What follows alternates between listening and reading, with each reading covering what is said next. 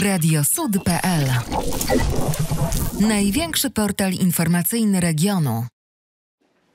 Z początkiem września w gminie Kępno zacznie obowiązywać w godzinach od 22 do 6 rano zakaz sprzedaży alkoholu. Dotyczy to zarówno sklepów, jak i stacji paliw. Sprawę szeroko omawiano podczas sesji Rady Miasta. Temat poprzedziły konsultacje z mieszkańcami, które odbywały się w każdym sołectwie, ale nie cieszyły się one dużym zainteresowaniem. Opinia komendanta kępińskiej policji, młodszego inspektora Roberta Ciesielskiego była jednoznaczna. Zakaz. Pojawiły się jednak sceptyczne głosy mówiące, że nocna prohibicja spowoduje, że powstaną nielegalne miejsca sprzedaży alkoholu. Jedynie radny Eugeniusz Przybył był przeciwko wprowadzeniu takiego rozwiązania. Od głosu wstrzymało się także czterech radnych Ireneusz Czachlowski, Adam Poziemski, Karol Schubert i Maciej Baciński. Rozmawiano także o suszy, która dokucza rolnikom z gminy Kępno. Ci, którzy mają oszacowane przez Komisję szkody w uprawach rolnych, mogą ubiegać się w powiatowych biurach Agencji Restrukturyzacji i Modernizacji Rolnictwa o pomoc w formie dotacji na powierzchnię upraw, w których szkody wynoszą co najmniej 30%. Rolnicy z terenu gminy Kępno w związku z suszą złożyli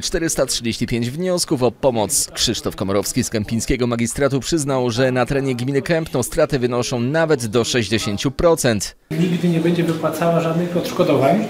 My przygotowujemy jako komisja protokoły szacowania.